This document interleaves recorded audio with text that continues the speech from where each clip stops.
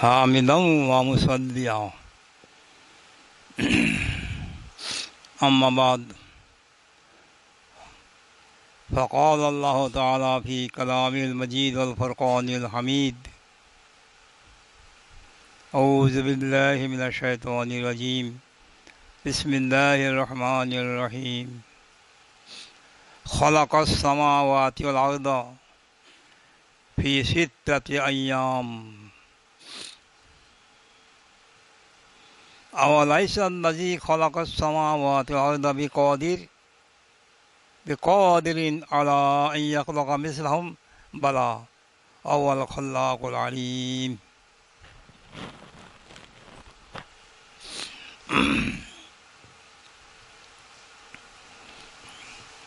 মহান আল্লাহ আমাদের সৃষ্টিকর্তা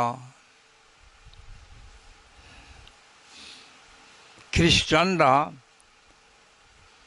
কোরআন মজিদ পাঠ করেছে। পাঠ করে একজন পণ্ডিতে মন্তব্য করছেন যে,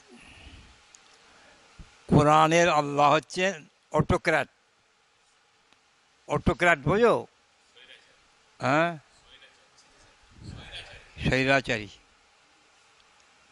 একজন খ্রিস্টান মন্তব্য করলেন কোরআন পড়ে যে কোরআনের আল্লাহ হচ্ছেন অটোক্র্যাট মানে স্বৈরাচারী নিজে ইচ্ছা মতো, খুশি মতো, যা খুশি সব করতে পারেন। তা ঠিকই তো কথা। ভুল কি আছে? তিনি যখন সৃষ্টিকর্তা, তিনি সব করতে পারেন। এবং যিনি সৃষ্টিকর্তা হন, তিনি যখন সৃষ্টি করেন তার একটা নিশ্চয়ই উদ্দেশ্য থাকে। সেই উদ্দেশ্য অনুযায়ী তিনি তার সৃষ্টি নৈপুণ্যের বা সৃষ্টি বৈচিত্র্যের তিনি প্রমাণ করে দেন। সেখানে বলার কিছু থাকে না। একজন একটা ঘর তৈরি করছে, সে তার খুশি মতো কটা জানালা রাখবে কটা দরজা রাখবে? দরজাটা কোনমুখী হবে? জানালাগুলো কোন দিকে কটা হবে? সে তো সৃষ্টিকর্তার ওপর নির্ভর করছে, করতে পারে? যা খুশি করতে পারে।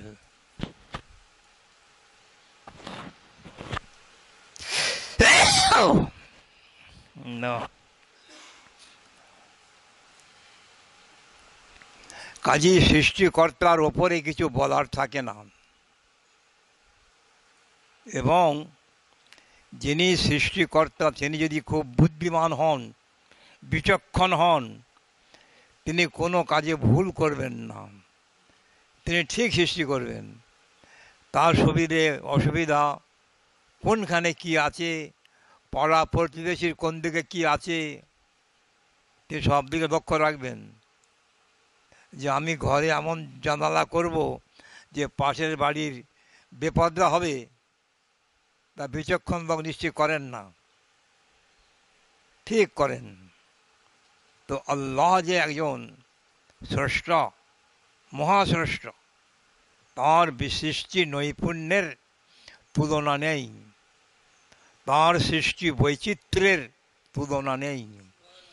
সব করতে পারেন।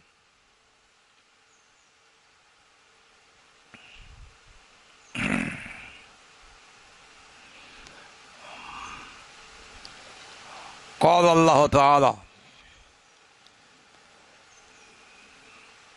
ياسين والقرآن الحكيم إنك لمن المرسلين على صراط مستقيم تنزيل العزيز الرحيم. لتنذر قوما ما أنذر آباؤهم فهم غافلون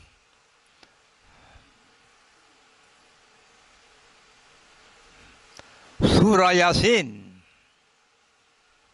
قال رسول الله صلى الله عليه وسلم سورة ياسين قلب القرآن সুরা ইয়াসিনকে বলা হচ্ছে কোরআনের কল মানে heart of the Quran heart এই হার্ট যে আমাদের হৃদয়, অন্তঃকরণ, এটা আমাদের দেহের হচ্ছে প্রধান অঙ্গ। যখন মানুষের হার্ট ফেল করল, বাস মারা গেল। হার্টের ক্রিয়া বন্ধ হলেই মৃত্যু হয়ে গেল। তো হার্ট যেমন মানুষের দেহের মধ্যে প্রধান অঙ্গ, তো কোরআন হচ্ছে এই সুরাসিন হচ্ছে কোরআনের call heart heart of the Quran ওই জন্যে মহান বিষ্ণু বলেছেন, যদি কেউ একবার সোরা ইয়াসিন তেলাওয়াত করে তাম কোরআন দশ বার তেলাওয়াতের সব পাবে। এই হাদিসটা মনে আছে তো? দশ বার কোরআন তেলাওয়াত করলে যে সব হবে, একবার সোরা ইয়াসিন তেলাওয়াত করে সেই সব পেয়ে যাবে। আমি সোরা ইয়াসিনের তফসির করেছি। যেমন কতকগুলো সুরার তফসির করেছি আল্লাহ রহমতে আল্লাহ করিয়ে নিয়েছেন। ওই যখন আমি বলব, আমি করেছি কথা জেনে রাখবে একটা বাজে কথা। ওটা কথার মাত্রা, এ বলতে হয়। এটা বলতে হয়। কিন্তু আসল কথা এটা বাজে। সেই আল্লাহ করিয়েছেন। আমার রমাইতা, ইজ রমাইতা আল্লাহ কিন্নল্লাহ রমা। তো সুরা ইয়াসিনের তফসিরে আমি প্রথমে আরবি অক্ষরে দিয়েছি, তারপরে বাংলা উচ্চারণটা দিয়েছি আমি। কারণ অনেকে সোজা ইয়াসিন তেলাওত করতে চান, তাদের পক্ষে সুবিধা হবে। যে আরবিটা পড়ে নিল, তারপরে বাংলাটা উচ্চারণ থেকে পড়ে নিল, তারপর যার যতটুকু ইচ্ছা দুটো একটা করে আয়াতে নিয়ে ব্যাখ্যাটা পড়ুক। আচ্ছা ওইখানে সোজা ইয়াসিনের প্রথমেই যে বলা আছে ইয়াসিন এই, এইটা হচ্ছে মহান বিশ্বনবীর একটা নাম, ইয়াসিন। তো তাকে সম্বোধন করে আল্লাহ তালা বলছেন যে, এই যে মহা বিজ্ঞানময় কোরআন, এর কসম খেয়ে বলছি যে রসুল হে মোহাম্মদ তুমি আমার রসুল এবং তুমি সেরাতে মোস্তাকিম, অর্থাৎ সরল ও সঠিক পথেই তুমি অবস্থিত আছো। আচ্ছা। এই কোরআন যে নাজিল হয়েছে মহান বিষ্ণুনবীর কাছে সে মহান বিষ্ণুনবীকে বলা হচ্ছে যে ঋতুঞ্জেরা কৌমম মা উঞ্জেরা আবা ওহম হম ফেরুন অর্থাৎ এই মরুভূমির দেশে আরবে মহান বিশ্বনবীর আগে কোনো রসুল আসেননি। কোনো রসুল আসেননি। পৃথিবীর বহু জায়গায় বহু নবী এসেছেন। কিন্তু এই আরবের বুকে এই যে বলা হচ্ছে ঋতুনজেরা কৌমম মা উনজেরা আবাহম। যে ওই জাতি, ওই আরব জাতির যারা পূর্বপুরুষ ছিল, তাদের কারোর কাছে কোনো নবী আবির্ভূত হননি। ইনি প্রথম।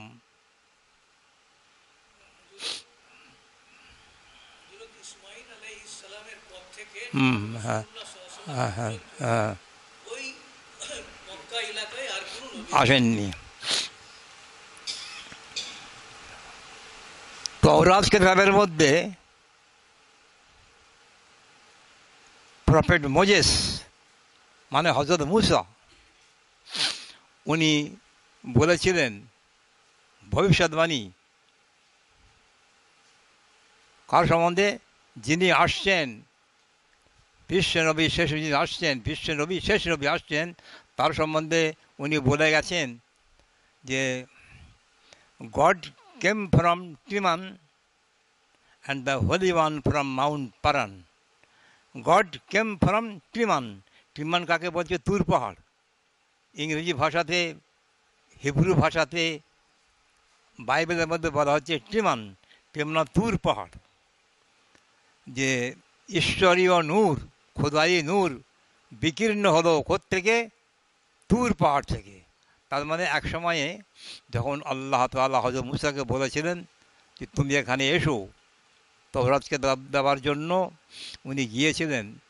কিন্তু ইহুদি জাতি একেবারে শুরু থেকে আজ পর্যন্ত এত খচ্চর, বদমাইশ জাতি পৃথিবীতে নেই।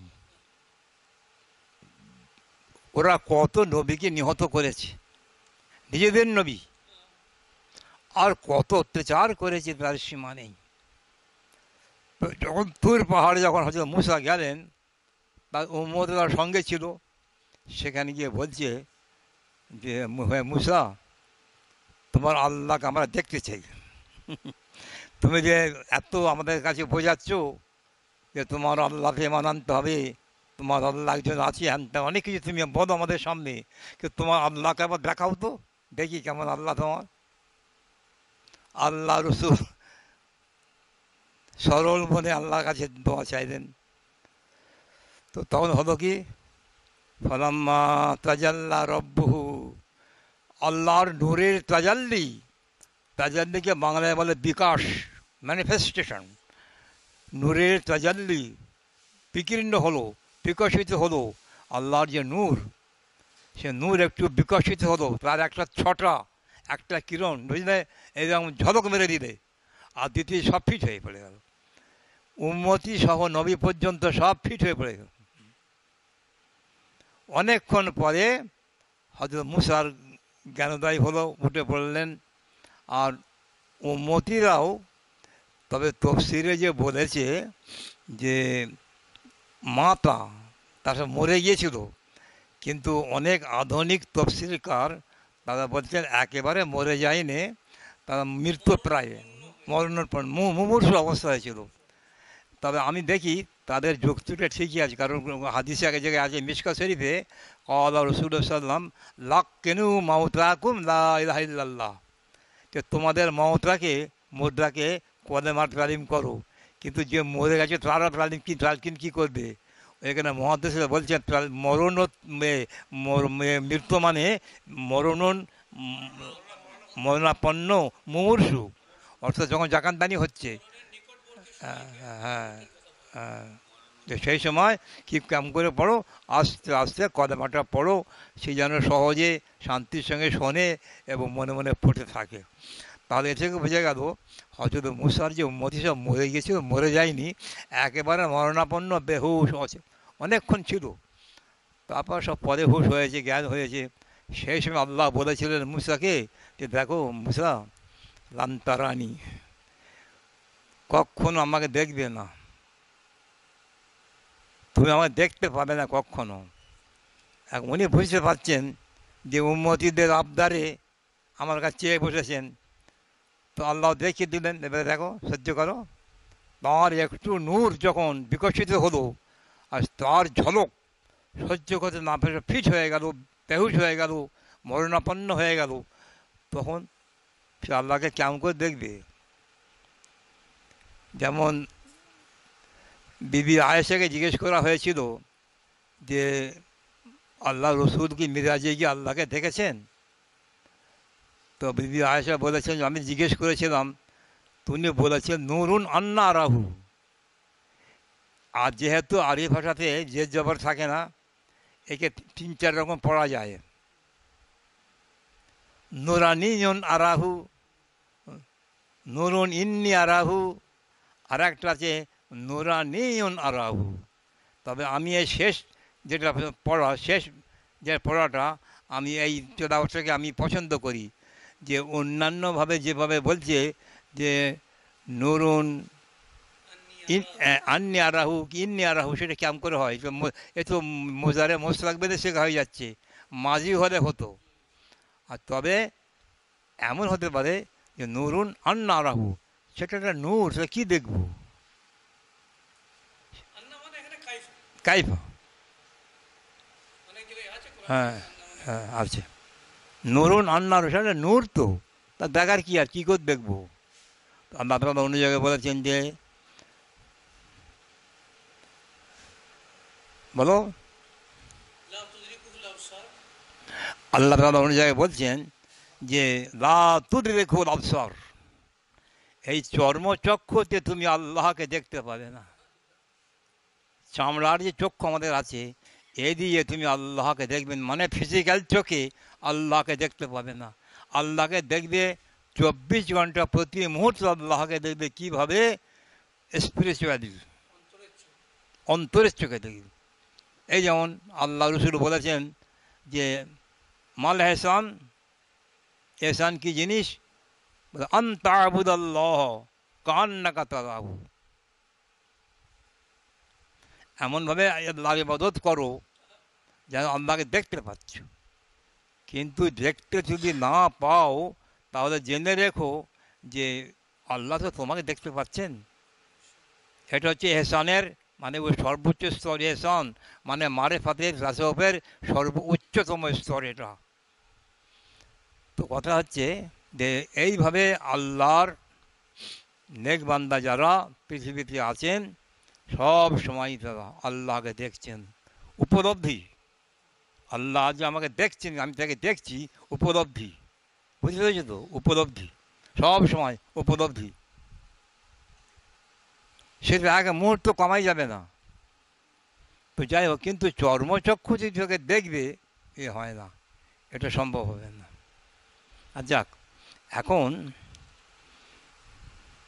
সেই আল্লাহ এখন ওই জন্যই তওরাত কেতাবে বলেছেন যে দা কি বললেন? আল্লাহ দাদা কি বললেন? যে হি কেম ফ্রম টিমান? হ্যাঁ হ্যাঁ হ্যাঁ। তুর পাহাড় থেকে একটা নূর বিকশিত হলো। নূর নূর বিচ্ছুরিত হলো। আচ্ছা and the holy one from Mount Paran এবং হোলি ওয়ান মানে যে পবিত্র পুরুষ, অর্থাৎ যে শেষ নবী বিশ্বজয়ী আবার আসবেন, তিনি কোথেকে আসবেন? পারণ পাহাড়। এইখানে বাইবেলে বলা আছে তরাতে বলা আছে ভদ্র মুসার ভবিষ্যৎবাণী যে যিনি শেষ নবী বিশ্বনবী তিনি আসবেন পারণ পাহাড় থেকে। তো আমরা ইতিহাস খুলে আলোচনা করেছি, দেখেছি যে তাম পৃথিবীর কোনো মহাপুরুষ, কোনো নবী রসুল, কোনো জাতের কোনো, এই ধরুন না যারা নবী রসুল হয়েছেন, কেউ কোনো দিনের জন্য ওই পারণ পাহাড়ে সাধন ভজন করেননি, এবাদত করেননি।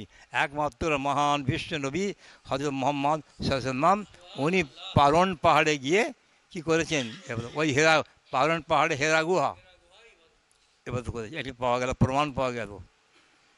এখন কথা হচ্ছে যে আমি যতটুকু বাইবেলে পড়ে দেখেছি বা হিন্দু শাস্ত্র আমি রিসার্চ করেছি, ওরা যদি একেবারে সরল মন নিয়ে হিন্দু বা খ্রিস্টানরা, ওরা যদি একবারে সরল মন নিয়ে আমি সত্য ঘাটিত হব আর আমি মেনে নেব। এই তো বাহাসের নিয়মটা কি? মনাজার নিয়মটা কি? মনাজারা নিয়ম নয় যে আমি জিতব।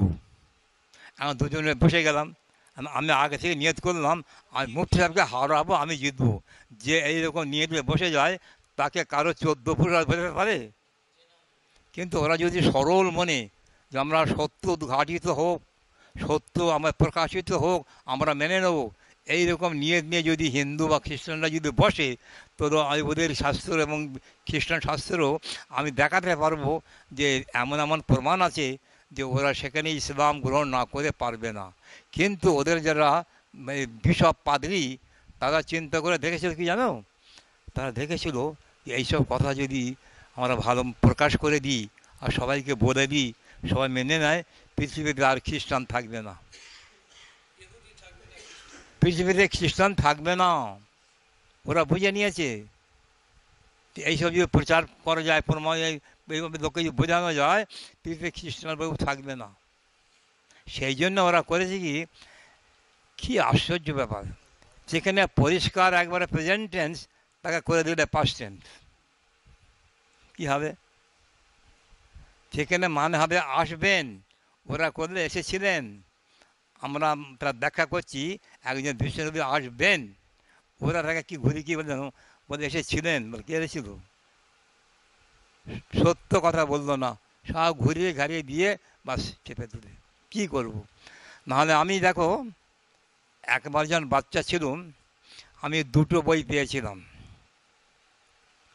আমার বড়দা মাস আলিয়ায় পড়তো, বলেছি আমি তারপরে মাদ্রাসা ফাজের পরীক্ষা দিয়ে আর বসন্ত হয়ে বাড়ি এলেন এন্তেকাল হয়ে গেল। ফাজেল পাশ করেছিল। আচ্ছা তার বড় বড় কেতাব উত্তরাধিকার হবে যা হয়। আমাদের যে ঘরে শুতাম, ওই তক্ত নিচে ছিল। সব উই ধরে ধরে সব নষ্ট হয়ে গেল। আমার বর্দা মেজা টেজা সবাই মিলে সব বাইরে ফেলে দিলে। কিন্তু তখন আমি একবারে বাচ্চা, তো আমি কিন্তু দুটো বই তার পেয়েছিলাম। সবই আল্লাহর ইচ্ছা। ওই দুটোই হচ্ছে আমার হাদি ওই দুটো কী বই? একটা বইয়ের নাম ছিল শ্লোকমালা আর একটা বইয়ের নাম ছিল সংক্ষিপ্ত হোমিওপ্যাথিক পারিবারিক চিকিৎসা। সংক্ষিপ্ত হোমিওপ্যাথিক পারিবারিক চিকিৎসা। একটা ছোট্ট বই। এটা ওইটি পড়ে পড়ে আমি হোমিওপ্যাথি পড়ার প্রতি অনুপ্রাণিত হলাম এবং পড়েওছি, পরীক্ষাও দিয়েছি, ডিগ্রিও আছে, সব আছে। আর ষোলো মানে কী ছিল? হিন্দুদের শাস্ত্রের কিছু কিছু কথা। আর তার শেষের দিকে ওই বাইবেলের দুটো একটা ভবিষ্যৎবাণী একজন আসছেন। আর সেই দুটো পড়ে আমি নিয়ত করলাম, তাহলে আমি হিন্দু শাস্ত্র পড়ব আর বাইবেলও পড়ব। পড়ে যা করবার করব। তাম ওয়ার্ল্ডে তাম ওয়ার্ল্ডে ইসলামের দাওয়াত দেবো। ওই দুটো বই ছিল আমার কি? গাইড, হাদি, সব তার ইচ্ছা। তিনি আমাকে ওই দুটো কেতাবের দ্বারা উদ্বুদ্ধ করবেন, এটা পরিকল্পনা ছিল। আচ্ছা। তো সেই থেকে নিয়ত করেছিলাম। কিন্তু এখন আমি মনে করেছিলাম আমি নিশ্চয়ই আমি কামিয়াব হয়ে যাব। কিন্তু এখন দেখছি, আমি যখন ঢাকায় ছিলাম, একবার এক চার্চে গিয়েছিলাম আমি। আমি কিছু করতে কম করিনি, এক চার্চে গিয়েছিলাম। পাদ্রি সাহেব বসে আছে, খুব একবারে গিয়ে বসলাম। তা উনি কিন্তু বাংলাতে কথা আরম্ভ করে দেন প্রথমে। বাংলায় সব শিখেছ তো এখন কথা হচ্ছে যে ইউরোপের যে রাজা, ইউরোপের, ওরা নিজেদের সরকারি খরচে সমস্ত পৃথিবীতে এক একটা গির্জা তৈরি করেছে। একটা অনেক অনেক। এক এক অঞ্চল এক একটা গির্জা তৈরি করেছে। আর সেখানে সরকারি খরচে ওরা পাদ্রি রেখেছে। পপ পুরোহিত পাদ্রি রেখেছে। কেন? ওদের ইসলাম, ওদের ওই খ্রিস্টান ধর্ম প্রচারের জন্য। বুঝেছ? তো ঢাকাতে ওইরকম একজন একটা গির্জা দেখলাম। ওইরকম ওদের এখন পুরোহিত আছে, তো উনি আমাকে বাংলায় যা বললেন, আমি তাকে ইংরেজি কোটেশন তো একটা ধরে তুললাম, যে এইগুলো একটু মানে বলতে পারবেন বুঝিয়ে দিন না। কিন্তু ও তো সব মানে জানতা খচ্চর। ও বলব কি, আমাকে বলছে কি জানো? বলছে, আমেরিকা রাশিয়াকে মানে না। ঠিক আছে বলছি, রাশিয়া আমেরিকাকে মানে না। দেখুন আজ কী হচ্ছে দুনিয়ায় সব এই ঝগড়া, সব ঝগড়া। রাশিয়া আমেরিকার যে মতবাদ গ্রহণ করছে না, আমেরিকার কী মতবাদ ক্যাপিটালিজম রাশিয়ার কী মতবাদ কমিউনিজম কমিউনিজম তো বলছে, আমেরিকা রাশিয়াকে মানছে না, রাশিয়া আমেরিকা মানছে না। তো কেউ কাউকে না মানলে আর কী করা যায়? আমি তো বুঝে নিলাম এই শয়তান আসল কথায় আসবে না। আমি বুঝে নিয়েছি, ও আসল কথায় আসবে না। ওই ভাই বলে দিল আপনি যে ব্যাখ্যা করছেন, আমি মানি না। আর আমি যে ব্যাখ্যা করব, আপনি মানবেন না। আর কি বলব? সালাম চলে এলাম। তো আমি যখন ছেলেবেলায় যখন আমি নিয়াজ করেছিলাম যে যদি আমি বাইবেল ধরে এইভাবে যদি আমি ধর্ম, ইসলাম প্রচার করতে লাগি, আমার একটা ধারণা তোমার বাচ্চা ছেলে তো, আমার একটা মন যে তাহলে এত স্পষ্ট দলিল থাকা সত্ত্বেও ওই খ্রিস্টানরা মানবে না কেন? নিশ্চয়ই আমি সাকসেসফুল হব। মনে করতাম। ওই পরে দেখলাম ওই অবস্থা, মানবে না। তো এখনও দেখছি, ওরা দেখছে যদি এখন বাইবেলের ওইসব কথাগুলো প্রচার করা যায়, বা ওর যদি উল্টো ব্যাখ্যা না দিয়ে সোজা ব্যাখ্যা দেওয়া যায়, তাহলে খ্রিস্টান ধর্ম থাকবে না। ওই ওরা বলল কি জানো একটা বলি শোনো, আর মানে কথায় কথা বেড়ে যায় অনেক। বাইবেলে আছে যে জিসাস ক্রাইস্টের পরে জিসাস ক্রাইস্ট ঈশা নবী তারপর একজন নবী আসবেন, তিনি এমন হবেন, ওরম হবেন, আমাদের হজরত মোহাম্মদ এসব গোলাপতি আছে। ওরা সেটাকে বলতে কি জানো? বলে হ্যাঁ ঠিক কথা।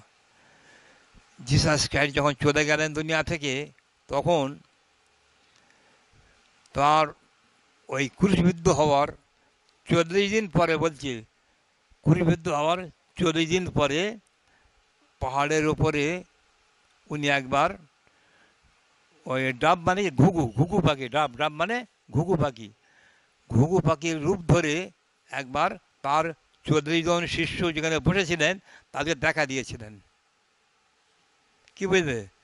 যে চল্লিশ জন শিষ্য বলেছিলেন, তাদেরকে ঘুঘু পাখির রূপ ধরে উনি চল্লিশ দিন পরে দেখা দিয়েছিলেন।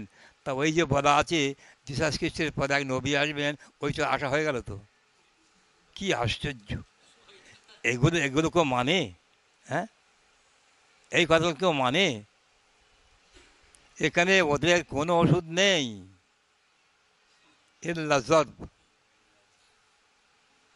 হাজার জর্ব জারবুল্লাহ।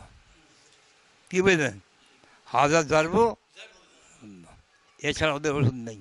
মানলে ওরা ওই যে কথা দিলে, যদি ওরা সত্যিকারে এসে মেনে নিত যে একজন নবী আসছেন ইতিহাস কাছে পরে তার এই রং তার এইরকম চেহারা এইরকম তার এ, আচার আচরণ। যখন সেই বসরাতে গেছিলেন আবু তালেদ হজরত বিশ্বনবীর চাচা আবু তালেদ উনি যাচ্ছিলেন একটা ওই ব্যবসায় বিজনেসে তো আবু তালেব যখন আল্লাহ রসুল তো বাচ্চা ছেলে বলে আমি যাব। উনি বারণ করলেন তো যে কাজে বাচ্চা ছেলে আমি যাব যাব। ঝোঁক ধরেছে। চল তো সেখানে বহ- বহিরাতে একজন পাদ্রি ছিল। সে ছেলেটাকে আমার রসুলকে দেখে আমি জিজ্ঞেস করেছিলেন আবু তালেবকে এই ছেলেটি তোমার কে সঙ্গে বাবা? বলে, আমার ভাইপো। ঘর চলে ঘর চলে যাও, ঘর চলে যাও। মানে তওরাত কেতাবে তার আকৃতি, প্রকৃতি সব এমন দেখাচ্ছিল দেখাচ্ছিল যে তাতে উনি ওই পাদরি বুঝেছিলেন, এই সেই যুগে নবী হবে। তবে দেখে ঘর চলে যাও বাবা, বিপদ আছে। ইহুদিরা একে দেখলে ছাড়বেন বেরোতে বলেছিলেন ওইটা আমার বইয়ে দেওয়া সত্য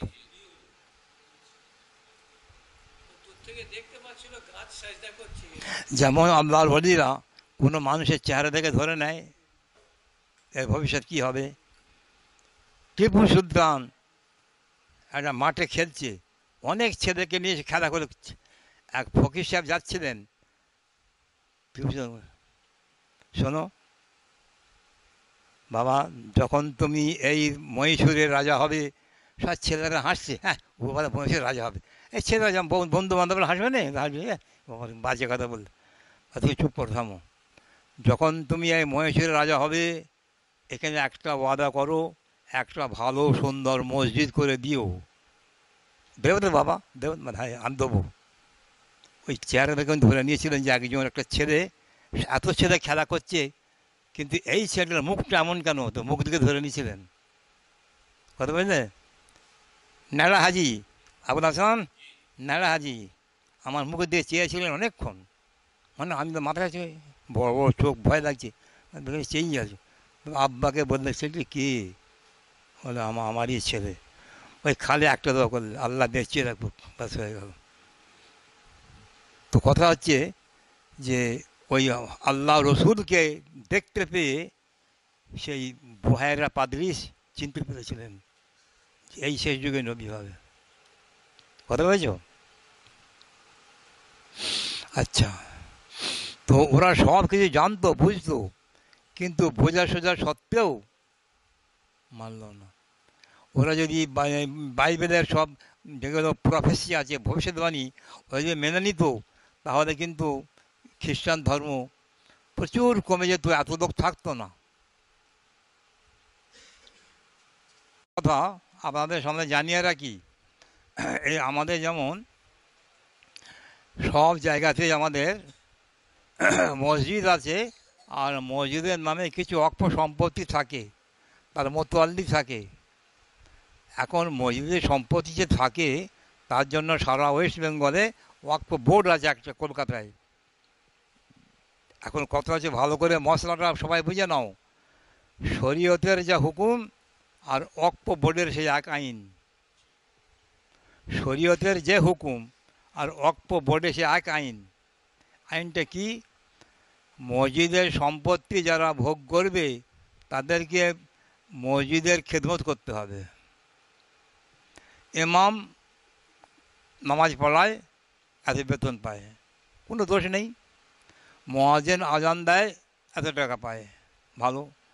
এবং আরও কদাম আছে। অক্প বলে এক বছরের আয় ব্যয় হিসাব দেখাতে হয় আর একটা এ দিতে হয় ইনকাম ট্যাক্স দিতে হয়। আমরা যেমন করি, আমার আছে। আচ্ছা। তো সেখানে একটা ওদের কাগজ একটা কলম আছে, কেরানি। মসজিদের সম্পত্তি আছে, তার আয়, ব্যয়, হিসাবপত্র, লেখাপড়া সব অনেক ঝামেলা থাকে। এসব করতে হয়। সে একটা বেতন পাবে। যে মতোয়াল্দি সে তার দেখভাল করছে সব কিছু করছে, তার একটা স্যালারি বা ইয়ে থাকে স্টাইপেন্ড থাকে মানে ভাতা থাকে। আচ্ছা। আমার এখানে হয়েছে কি জানো ভালো কথা বুঝলাম তোমরা এক্সাম্পল দিতে খুব ভালো বুঝবে। এবং এটা নয় যে কথাটা ইন্টারনেটে গেলে লাভ লাভ হবে না, লাভ হবে। আল্লাহ রসুল সাহাবিদের সব কথা বলতেন একজন সাহাবিকে একটা কথা বললেন, আজ পর্যন্ত রেকর্ড হয়ে আছে। আমাদের জন্য শিক্ষা। আল্লাহ রসুল যে কোনো সাহাবিকে ধরে ধরে কথা বলেছে, তুমি এই শোনো, এই করো, তাই করো। কিন্তু যা যা কথা তুমি বলেছে আজ পর্যন্ত আমাদের জন্য কেন, কেয়ামত পর্যন্ত রেকর্ড হয়ে থাকবে, তাতে মানুষ শিক্ষা লাভ করবে। ওই যে আমি যেটা বলছি, এটা এটা ব্যক্তিগত আমাদের ব্যাপার নয়। হ্যাঁ হতে পারে ব্যক্তিগত। এতে ফায়দা আছে, জনগণের সারা পৃথিবীর লোকের ফায়দা হবে। এই যে আমি একটা কথা বলি, আমাদের মসজিদ আছে। আমার, আমরা চার ভাই। আমার শেষদার যখন বাংলাদেশে চলে যায়, পাকিস্তান, তখন পাকিস্তান ছিল। তখন সে বলে গেল যে, মসজিদের সম্পত্তি আমি কোনো অংশ নেব না, কারণ আমি এর খেদমত করতে পারব না। খুব ভালো কথা। যে আমি মসজিদের সম্পত্তি কোনো অংশ নেব না, আমি খেতে পারব না। ভালো চলে গেল। আচ্ছা আমার বড় ভাই, সেজ ভাই, আমি আমরা তিনজনে আচ্ছা আমার আমার বড় ভাইয়ের ছেলে দুটো, তারা বাইরে কাজ করতে চলে গেল, সেখানে ঘর বাড়ি করে রয়ে গেল, দেশে আসে না। খুব ভালো করে বোঝো, যুগ্ন, খুব ইম্পর্টেন্ট কথা, মা ব্রেন থাকলে বুঝতে পারবে। তারা আসে না। কিন্তু আমার সেই বড় যে ওই ভাইপো খালি মাঝে মাঝে সেখান থেকে খালি খবর পাঠায় যে মোদী সম্পত্তি আমাদের অংশ কী হলো? আমি তো কাউকে অংশ দিইনি। আমি, আমার দাদা ছিল মতোয়াল্দি তার এন্তেকাল পর আমি আজ এতদিন নাই মতোয়াল্দি আছি। আমাকে খাতায় সব দেখা বলা আছে। আয় ব্যয়, সমস্ত শাহজাহানে দেখা, আয় ব্যয় দেখা আছে। আচ্ছা সেখানে বলে আমার অংশ কত? অংশ তোমার দরকার, তোমাকে কেন দেবো? তুমি এখানে কী করছ? তুমি এখানে মসজিদের কি কাজ করছ? আচ্ছা সে বলবে কি জানো? তার একটা ভাই যেমন মনে করো আল্লাহ হাফেজ। একটা ভাই খোদা হাফেজ তোতন ওরা আছে এখানে। একটা নারকেলের পাল্টে ওদের আমি দিই। নারকেলের পাতা কাটলে ওদের দিই। ওরা ওরা কেন পাচ্ছে ভালো কথাটা খুব ভালো করে বুঝব ব্রেন চাই বুঝে চাই। আচ্ছা আল্লাহ হাফেজ মসজিদে ঢোকে নে ওইখানে ওই রাস্তার ধারে দাঁড়িয়ে আছে। কারও ক্ষমতা আছে যে আল্লাহ দাঁড়িয়ে আছে, কারও ক্ষমতা আছে যে একটা শুকনো পাতলা পেলে চলে যাবে। না, এই আল্লাহ আছে। তাহলে আল্লাহাবাদের এই যে অস্তিত্বটা, তার এইখানে বসবাস করে এই যে অস্তিত্ব এক্সিস্টেন্স এর দাম আছে কি দাম নেই? প্রথম দোকানের ভেতরে মাল বিক্রি করছে দোকানদার। কারও ক্ষমতা আছে যে বাইরে একটা নারকেল পেড়ে নিয়ে পালাবে? পারবে না। তার ওদের যে অস্তিত্বটা, এর দাম আছে কি না সেই জন্য ওদের আমি নারকেল দিই পাতলা ভাগ দিই। আর যে দুটো ভাই বাইরে আছে, সেখান থেকে খালি হুমকি দিচ্ছে যে আমাদের, আমার আব্বা বলে গেল যে তোর চাচার কাছে সব রেখে পাবি। তা আব্বা ও তোর আব্বা তো আমলোক ছিল, সে কি বোঝে? তোরা কিচ্ছু করবি না, সে বিদেশে পড়ে থাকবে। আর তোমাদের আমি মসজিদে কেন দেবো? নারকেল হোক আর পাতলা কেন দেবো? আমি তো কাউকে কিছু দিই না, সবই মসজিদে জমা করি। মানে কোনো রকম মসজিদে চলে আর কি। দিলে চলবে না তবে নারকেলের পাতলা ডাব দিলে পারলে সব ভাগ দিয়ে দিই যে যা খেয়ে নে এই মশলাটা বললাম কেন খুব জরুরি মশলা ইম্পর্টেন্ট মশলা হ্যাঁ মসজিদে সম্পত্তি খেতে গেলে তার কিছু না কিছু খেদমত দিতে হবে তো কিছু না পাও অন্তত তুমি যে এখানে বাস করছ তোমার এই দেহের অস্তিত্বটাই এটাই তো মানে খেদমতের মধ্যে চলে আসছে কথা বুঝেছেন? এই কথাগুলো খুব মূল্যবান। আর এই কথা শরীয়তের কথা, এই অক্ষ বোর্ডেরও কথা। আমি এই জমিনকে বিছানা স্বরূপ তৈরি করেছি। বিছানা মানে যেমন শয্যা। এই জমিনকে আল্লাহ বিছানা স্বরূপ করেছেন বান্দার জন্য। এই জমি করে এমন করছে? এমন করছে? নড়ছে নড়ছে না তো। নড়লে মানুষ বাস করবে কি করে? অল জীবালা ও ত্রাদা এবং এই যাতে জমিন না নড়ে, তার জন্য পাহাড়কে করেছে খুঁটির মতন। যেমন একটা জিনিসের ওপর খুঁটি পুঁতে দিলে মজবুত থাকে, তো এই জমিন যাতে না নড়ে, তার জন্য অল জীবালা ও ত্রাদা আমি পাহাড়কে করেছি খুঁটির মতন। চেপে ধরে আছে একটা কথা শোনা মনে পড়ল। খালি মনে পড়ে যায় সব। এখন আমি একদিন দাওয়াত ছিল দাওয়াত ছিল চব্বিশ পরগনার বটতলা। আর আসরের সময় গিয়ে হাজির হয়েছি। চব্বিশ পরগনার একজন মৌলানা সাহেব ছিলেন এন্তেকাল হয়ে গেছে, মৌলানা আব্দুল হান্নান আবকারি ভালো, যোগ্য আলেন আমার সম্পর্কে বোনাই হতো। ওই আমাকে লাইক করতো না। মানে আমার মেয়েদের কুটুম কথা কথা বলতে মেয়েদের কুটুম আচ্ছা সেখানে গিয়ে আমি দেখ, বসলাম। আসরের সময় দেখি লোক সব বসে আছে কত গুরু সেখানে কি বোঝাচ্ছেন উনি? উনি বোঝাচ্ছেন যে এই যে একটা কথা আছে না, একটা বইও বেরিয়েছে। যে সূর্য ঘোরে না, পৃথিবী ঘোরে? বলো। একটা বই আছে, সূর্য ঘোরে না, পৃথিবী ঘোরে? তো উনি আমাকে বলছেন, পৃথিবী ঘোরে। উনি বলছেন, আর লোক কিছু লোক বসে আছে মানে পৃথিবী ঘোরে। আর মিশরের আলেমরা বলেছে, মিশর থেকে ফতোয়া হয়েছে যে পৃথিবী ঘোরে। আমি সেই সময় টুপ করে ধরেছি কথাটা যে, হুজুর, আমার একটু বক্তব্য ছিল। আশ্চর্য, আমাকে বলতে দিলেন মানে আপনার বয়স কম। আমাকে আপনার বয়স কম? মেয়েদের কুটুম। মানে আমাকে বলতে শালা বলবে না, মেয়েদের কুটুম। আমি চেপে দিলেন বলতে দিলেন আর ওখানকার লোক ওকে খুব মানে তো? উনি আমাকে চেপে দিলেন। ওখানকার লোকেরা আর বসল সব উঠে পড়ল। কী বলব? কিন্তু আমি সেই সময় বদলে গিয়েছিলাম এই কথাই যে দেখুন মিশরের আলেমরা ভুল ফতোয়া দিয়েছে। মিশরের আলেমরা কি ফতোয়া দিয়ে জানো?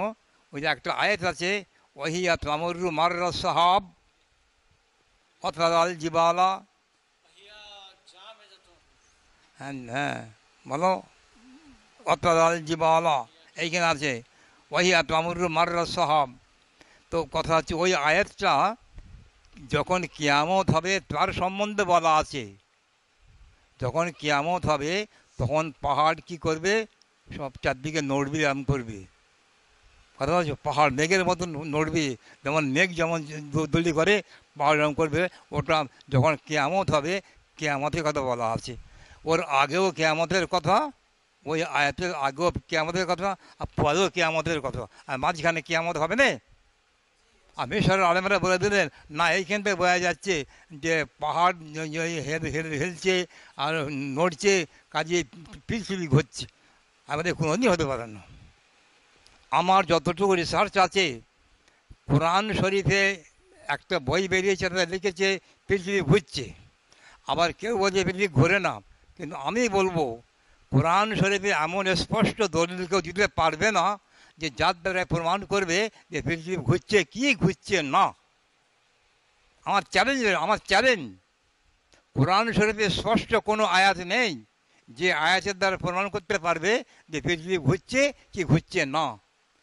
এ বিষয়ে কোরআন শরীফ কি? চুপ চুপ, খামোশ। আমার আলহামদুলিল্লাহ, শুক্রিয়া, এসব বুজুর্গদের ফয়েজ। আসলে স্বামী সেই কথা বলেছেন কিন্তু। আমি পরে দেখলাম, উনি এই কথাই বলেছেন যে, কোরআন শরীফে পৃথিবী ঘুরছে ঘুরছে না, এর কোনো স্পষ্ট দলিল নেই। তবে যদি কেউ জানতে চায় যে, পৃথিবী ঘুরছে ঘুরছে না, তার জন্য অন্য সোর্স দেখতে হবে। এ কথা কি বল সাহেব বলেছে। অন্য সোর্স মানে কি? যেমন সায়েন্স। বুঝতে কথা? কিন্তু আমি দেখি যে, না, তবে আমার যতটুকু রিসার্চ আছে যে, পৃথিবীও ঘুরছে, সূর্যও ঘুরছে চাঁদও ঘুরছে ও কুল্লন ফি ফালাকি আসবাহুন কুল্লন ফি শামসু তাজরি বিমুস্তাকরিল্লাহ যালিকা তাকদিরুল আজিজ আলিম, ওয়া কমারা কদ্দারনাহু মানাজিলা হাত আদ বিল গরজাদ মুকালবুল কাদিম লা শামসু ইয়ামবাগি লাহা তুজগল কমারা ওয়াল্লাইলু সাবিকুন নাহার, ওয়া কুল্লন ফি ফালাকি আসবাহুন সবাই ঘুরছে কোরআন বলছে, সবাই ঘুরছে সূর্য ঘুরছে চাঁদ ঘুরছে পৃথিবী ঘুরছে। কেউ চুপ নেই, সম গোটা পৃথিবী ঘুরছে। আমিও ঘুরছি, তুমিও ঘুরতে সবাই ঘুরছে।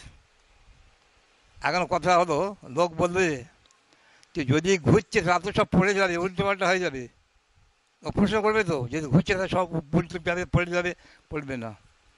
তুমি একটা হাঁড়ির ভেতরে, আর বড় হাঁড়ি নাও, আমার প্রমাণ সায়েন্টিফিক যুক্তি। বড় একটা হাঁড়ি নাও, তার ভেতরে কয়েকটা পিঁপড়ে ছেড়ে দাও। এই হাঁড়িটাকে চারদিকে বন বন করে ঘোরাও। পিঁপড়েটা পড়ে যাবে? বলো। তবে আমার কাছে সব সায়েন্টিফিক এবং লজিক্যাল আর্গুমেন্ট আছে। সে হাঁড়ি আম করে ঘোরাচ্ছ, ভেতরে পিঁপড়েগুলো কেউ পড়ছে না। সেটা আপনাদের স্থানে ঘুরছে বেড়াচ্ছে তাই আমরাও তাই। পৃথিবী ঘুরছে ঘুরুক, কিন্তু আমরা ঠিক থাকব।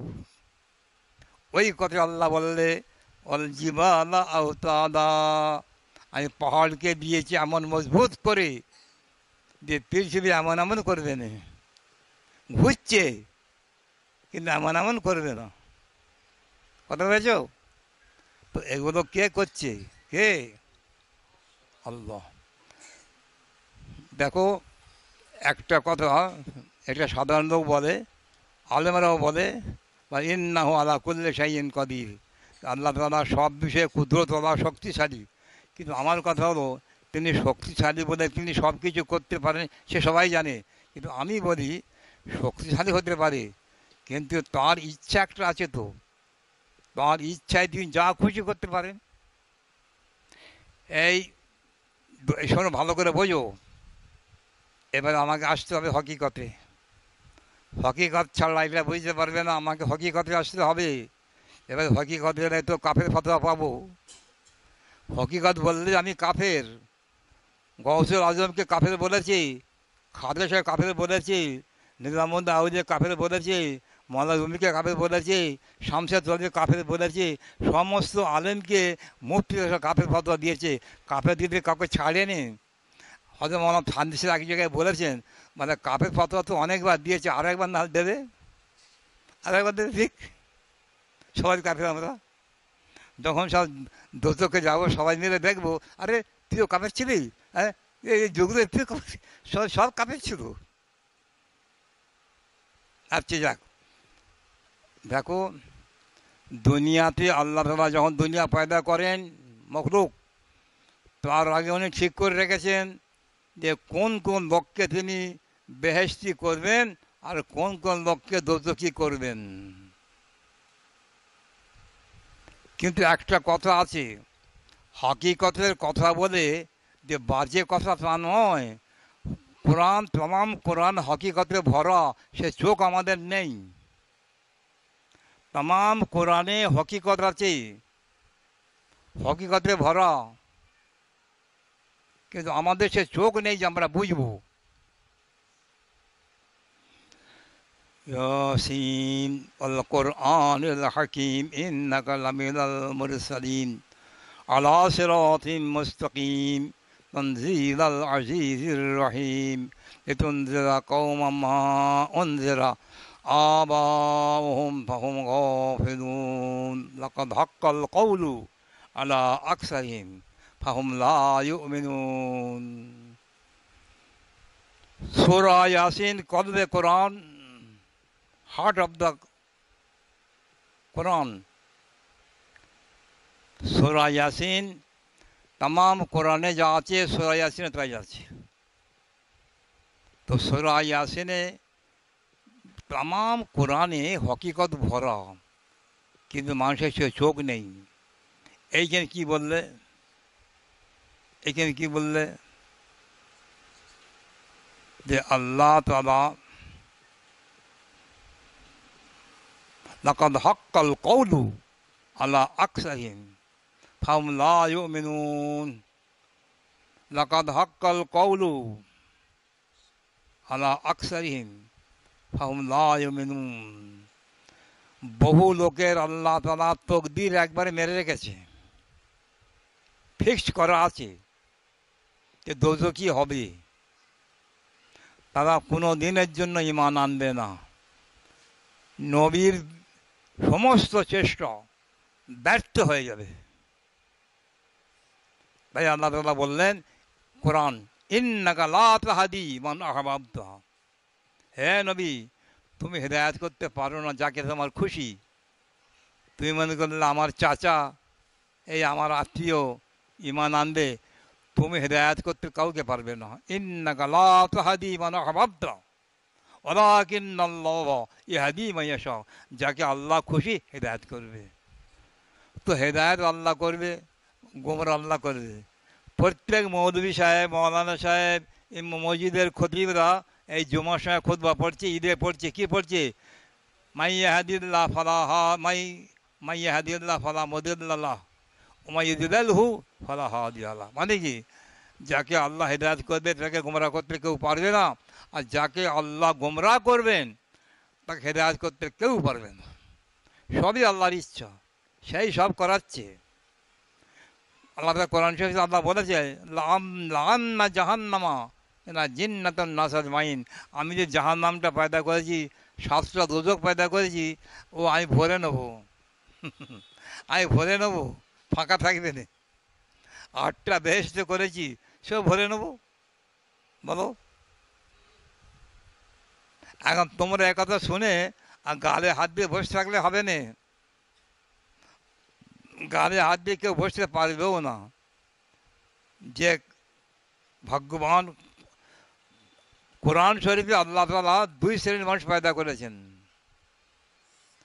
আল্লাহ তালা নিজে তমাম পৃথিবীর মানুষ আদম নবীর সময় থেকে নিয়ে কেয়ামত পর্যন্ত যত লোক দুনিয়াতে আসবে, এসেছে, সমস্ত মানুষ তালা দুভাগে ভাগ করেছে। কোরআনে বলে, এক দল সাঈদ আর এক দল সাকি। সাঈদ মানে ভাগ্যবান আর সাকি মানে হতভাগা। তার ভাগ্যবান কে? যে বেহেস্তি হবে। হতভাগা কে? যে দোষী হবে। এটা আল্লাহ করে রেখেছে। ইবলিশ ইবলিশকে দোষ দেওয়া হয়। বলো? এবারে সে আল্লাহরই হাত কিন্তু এ কথা কোরআনে আছে, এদের চোখ নেই তো, এই যে তেলাওত করে, সব তেলাওত করে, চোখ আছে? আবা ওয়াস্তাকবার ইল্লা ইবলিস। আছে তো? ইল্লা ইবলিস। সবাই সাজদা করল আদমকে আদমকে বড় বড় মেনে নিল না, বড় মেনে নিল। সাজাদ আল মালা একাত কুদমজ মামুন ই হজরত আদমকে সমস্ত ফরিস্তারা বড় বলে মেনে নিল। ইল্লা ইবলিস ইবলিস ছাড়া। ইবলিস কি বললে? আবা, হি ডিনাইড, অস্বীকার করল, আমি ওকে বড় বলে মানব না। অস্তাকবার অহংকার করল। এরপরে আল্লাহ কি বললে? ওয়াকান আমেদ আল্লাহ কাফিরিন, সে কাফের ছিল আগে থেকে। সে শিশু থেকে কাফের ছিল। আলেমরা করছে কি? তোমার তোমার তফসিল কেতাবে ওই কান্নার মানে করছে সর আমিনাল কাফেরিন। মানে কাফের হয়ে গেল। কিন্তু আমি বলি, আল্লাহর কালামের উপর কলম তোমরা কলম চালাচ্ছ কেন? আল্লাহ বললে, সে কাফের ছিল আগে থেকে। আর আলেমরা, বড় বড় মুফাসসির, তারা বলছে, এ কান্নার এখানে মানে হবে সরা। মানে পরে সে এই সেজদা না করার জন্য কাফের হয়ে গেল। তাহলে হয়ে গেল নয়, ছিল। খোদার পর খোদগারি। আল্লাহ বলছে, কাফের ছিল। তাকে আমি কাফের করে রেখেছিলাম তো। আর তোমরা বলছো যে কাফের হলো। এ কথা বললে চলবে না খোদার খোদ গাড়ি চলবে। আল্লাহ বলেছে, আমি কাফের ছিল তোকে কাফের করে রেখেছিলাম তো। ইবলিশ দুনিয়াতে এসে খালি দেখিয়ে দিয়ে কাফের। এই শোনো বলি, এই যারা এইসব বেদাতি লোক, ভণ্ড ফকির, ওরা আসা এক কথা বলে, সে কথাগুলো ভালো। কিন্তু ওরা গুমরা হয়ে গেছে সেগুলো উল্টো পাল্টা করে। কথা পেয়েছ যারা বেদাতি ফকির সব ওরা যা কথা বলে অনেক কথা ওদের খারাপ নয়, কথা ভালো। কিন্তু আসলে হলো, আর ওদেরকে আল্লাহ তো এভাবে অন করে রেখেছে। আসল কথা জানো, তোমরা যে এইখানে এসেছ, কেন এসেছ? এসেছ হ্যাঁ? আল্লাহ এখানে আনিয়েছে। ঘাট ধরে টেনে বসাও আর ছাগল, গরু, ভেড়াগুলোকে যেমন ছড়িয়ে মারে তাড়ায় হট তাড়িয়ে এইখানে তাড়িয়ে তাড়িয়ে হাজির করে দিয়েছে এখানে বলো, নিজেদের কোনো বাহাদুরি নেই? নিজেদের কোনো কৃতিত্ব নেই যে আমরা এসেছি। না, আমরা এসেছি বলবে না খবরদার। এ ঘুমোচ্ছিস কে রে? আসলাম এসব কথা ঘুম আছে? কথা বলেছ আল্লাহ টেনে এনেছে। ওই জন্য শেখ সাদি বলছেন, ই সাদত বজরে বাজুনিস, ই সাদত বজরে বাজুনিস তানা বক্সাদ খোদায়ে বক্সিন্দা ও দেখলে এই যে আমরা নেক কাজটা করলাম এখানে এলাম এই কিন্তু আমাদের নিজস্ব কোনো ক্ষমতা ছিল না সে আল্লাহ আল্লাহ তফিক দিয়েছে আল্লাহ টেনে এনেছে বলছ একজন মৌলানা সাহেব আমার এই মসজিদে জিন্দগি ভোট পা দেয়নি আমাকে খুব শ্রদ্ধা করে খুব মানে অত্যন্ত মানে তা তাকে একদিন বলে ফেলেছিলাম মানুষ আপনি আমার ওখানে জীবনে যাননি, কেন জানেন? তা চুপ করে আছে আপনার আল্লাহ আনেননি। বলে ফেললাম। তা চুপ করে কিছু বললেন না। আর বেশি কিছু আর বলব না, এই চুপ জেনে রাখো যে আল্লাহ আপনাকে আনেননি এখানে, আমার কাছে। বুঝতে পারেন সাদাত সাকাবত আজালি। আস সাদাত সাকাবত আজালি হাজ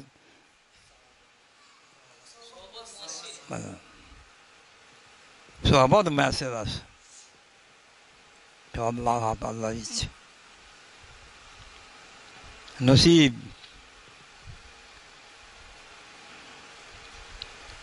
এসব কথা একবারে ভেতর থেকে সব ছেড়ে দিলুম। এবারে বোঝো আমরা কোন দিকে আছি। কিন্তু তুমি বলবে যে তাই যদি হয় যে আল্লাহ তালা সব করে রেখেছে, আমি বাড়ি গিয়ে আজ থেকে নামাজ কালাম কিচ্ছু পড়বে, সব ছেড়ে দেবো। নিয়ত করবে, ছাড়তে পারবেন ছাড়তে পারবে না। তুমি বেনমাজি হয়ে থাকতে পারবে না। এখান থেকে মনে করে যাবে আমি আজ থেকে বেনমাজি হয়ে যাব, নামাজ পড়ব নি, আল্লাহ তালা যা রসিদ তাই হবে, পারবে না। নামাজ না পড়ে থাকতে পারবে না। কেন? আল্লাহ তোমাকে ঘাট ধরে পড়াবে। বলে পড়। হ্যাঁ? আল্লাহ পড়াবে। পড়নি বললে চলবে না। আল্লাহ আল্লাহ আল্লাহ।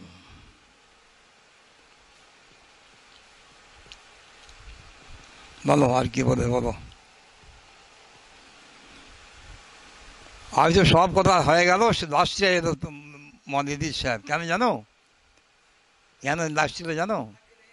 হ্যাঁ? তকদিরে নেই নসিব আল্লাহ করে নে। এই কথাগুলো শুনবে, আল্লাহ নসিবে রাখে না তো। এলাহাবাদে শোনো, এলাহাবাদে যেতুম গেতে পারে মৌলানা সাহেব আমাদের ফির কে বলো আগে জিজ্ঞেস করে দেন। এক আধ হাপ্তা রাহানা হয় তো এইভাবে বলবে এক আধ হাপ্তা রাহানা হয় তো মানে এক আধ সপ্তাহ থাকবে তো? বলে হ্যাঁ। আর বলবে না যে তুমি দু- পাঁচ দিন থাকবে না, তুমি এখানে তোমাকে কুড়ি দিন থাকতে হবে। বলবেন না। তোমার কুড়ি দিন থাকতে হবে, কি দু সপ্তাহ থাকতে হবে কিন্তু বলবে না। যখন খালি শুনে নিবে যে এক আধ হাপ্তা রাহানা হয় তো। আর জি হ্যাঁ আমরা ঠিক আছে। কেন উনি জানতেন? এসে নসিবের ব্যাপার। জানতেন, নসিবের ব্যাপার। এ এক আধ হাপ্তা বেশি আর নসিবে নেই বা দরকারও হবে না। আল্লাহকে শকর দরকার হয় না আমার।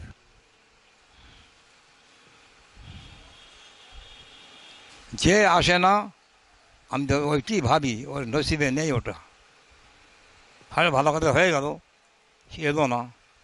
আমার পরে আবার একটু দুঃখ হয়, দুঃখ হলে কি হবে? লাল লাকা বাখেও নাফস থাকা আল্লাহ কোন মমিনিন। আল্লাহ রসুল সব সময় আফসোস করতেন, কাঁদতেন যে এই লোকগুলোকে এত বোঝাচ্ছি, এত দাবাত দিচ্ছি, এরা কেন ইমান আনছে না? এর জন্য আল্লাহ রসুল খালি পেরেশান খালি পেরেশান হয়ে যেতেন। আল্লাহ তালা ধমক দিবে এই, চুপ। লাল লাগা বাখাও নাফস থাকা আল্লাহ এখন মমিন ওরা ইমান আনলে বলে তুমি একবার কি নিজেকে মেরে ফেলবে নাকি? ওরা ইমান আনলে তুমি নিজেকে মেরে ফেলবে? নিজে জান জান জানকে মেরে ফেলবে? ওরা ইমান আনলে সেটা আমি বুঝব। তোমার কি দরকার? অদার নি অল্প কাজবিন অদার নি অল্প তুমি ওদের কাছে দাবাত দিয়ে ছেড়ে দাও। আমি বুঝব আর তারা বুঝবে। মকাজবিন মানে কি? যারা কাফের, অস্বীকারী। তারা বুঝবে আমি বুঝব। তাহলে বলে ছেড়ে দাও। আমি বুঝব, তারা বুঝবে। তোমার ওসব চিন্তা দরকার নেই।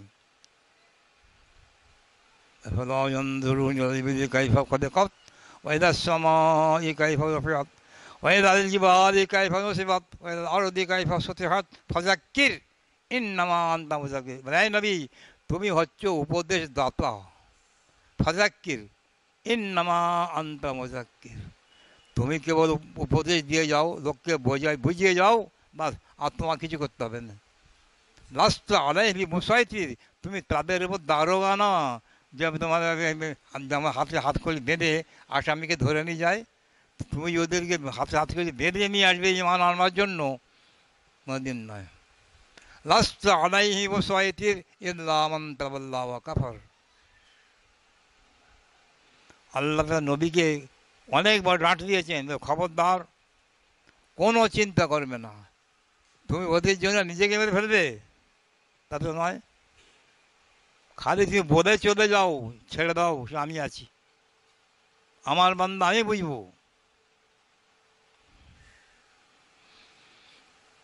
দুঃখ হলে দুঃখ করার দরকার নেই তা ছেড়ে দাও। পড়ো সর্বে কিসি কে নাম কি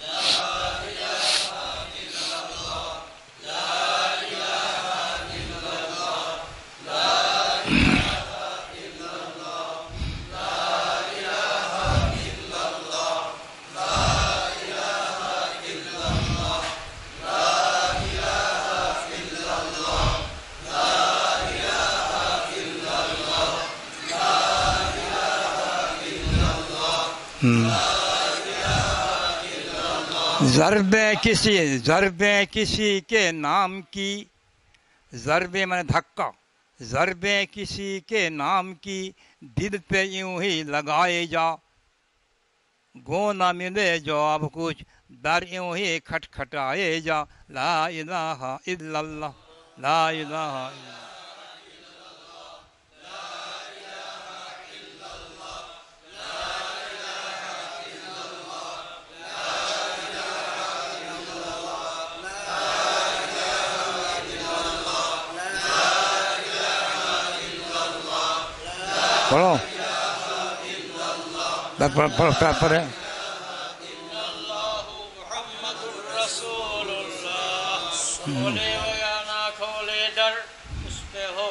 تیری نظر تو تو بس اپنا کام کر یعنی صدا لگائے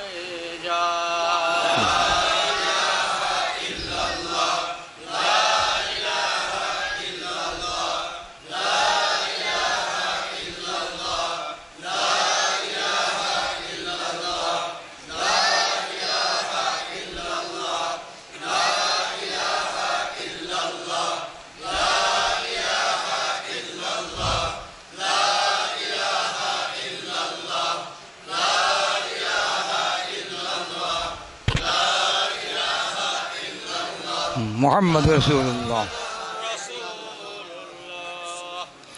এই গজল কে লিখেছেন? খাজা আজিজুল হাসান। খাজা আজিজুল হাসান আর তার তখাল্লুস ছিল মাজজুব। কবি সাহিত্যিকরা, এ বাঙালিরা করে না, কিন্তু আরবি, ফার্সির যারা কবি সাহিত্যিক, একটা নিজেদের নাম রাখে। যেমন কে নাম রেখেছে গালিব, কে রেখেছে মীর কেউ রেখেছে হালি, সে নাম রাখে। যেমন আমি নাম রেখেছি শামসুল আলম। আমার নাম আবু সালেহ, আর সাহিত্য নাম হলো শামসুল আলম। সাহিত্য নাম কবে রেখেছিলাম? যখন আমি স্কুলে ক্লাস সেভেনে পড়ি। স্কুলে পড়ি ক্লাস সেভেনে, তখন আমি আমার নাম রাখলাম শামসুল আলম। আলম মানে কি? পৃথিবীর সূর্য, বিশ্ব রবি। তো এখন খাওয়াজা আজিজুল হাসান মাজু এই গজ- গজল দেখেছেন? ইনি আমার দাদা পীর কেবলা অসাদ থানি সাহেবের মরিদ ছিলেন। তার খলিফা। শুধু মরিদ না, খলিফা। তো এক সময়ে মানে আশরাফ থানি সাহেব তাকে বলছে যে आइजुल हसन तुम आप लोगों को बैत करो तुम आप लोगों को बैत करो মানে অজু আমার ইজাজত না ইজাজত দিচ্ছেন উনি বলছে হায় আল্লাহ কই আপনি আমাকে তো বয়াত করেননি কোনো দিন আর খেলাপত দিচ্ছেন কী ব্যাপার বলে আপনি আমাকে বয়াত করেননি কোনো দিন আর খেলাপত দিচ্ছেন কী ব্যাপার তো মা বলছে ও তোমাকে বয়াত নেই কি আচ্ছা হাত বাড়াও কর হয়ে যাও হয়ে যাও তাহলে মৌলানা ফ্যান বললেন যে, আসলে কাম তো হো গিয়া। হাতে হাতে বয়াত হওয়াটা বড় কথা নয়। আসল কাজ হচ্ছে সেবা কর নিজেকে সংশোধন করা, রিপু জয় করা। রিপু জয় পুরুষ। ইয়াই হাত নফসুল মতমাইন না নফসে মতমাইন না হতে হবে। রিপু পুরুষ, আসল কাজ তো হয়ে গেছে। আমাদের সিলসিলার নিয়ম হচ্ছে ইলমি ও ইসলাহি। তো উনি বললেন যে, আসলে কাম তো হো গিয়া। কিন্তু উনি বয়াত হননি তো দরকার নেই, আসো কাজ তো হয়ে গেছে। তো যখন- বললেন যে করেননি, বলে হাত বাড়াও। তাহলে কথা হচ্ছে আমাদের সিলসিলা এইরকম, যেমন সব পীরের আছে, দশ হাজার লোক বসল, গায়ে গা ঠেকে বসো, গায়ে গা ঠেকে বসো, সব গায়ে গা ঠেকে বসো, বলে একটা পাগড়ি ফেলে দিলে, দিয়ে সব হয়ে গেল। কি কাজ হচ্ছে? কাজটা কি হচ্ছে? আসল কাজ করতে হবে। এ কালকেই মনে হয় একজন এসেছিল, কোন জায়গা থেকে বলেছে মানে আমাকে মজুরি করতে হবে। আচ্ছা তুমি আসা যাওয়া করো, সে পরে দেখব। সেই সেই জন্যে বললাম, আসল কাজ করতে হবে। কি সা কত হলো?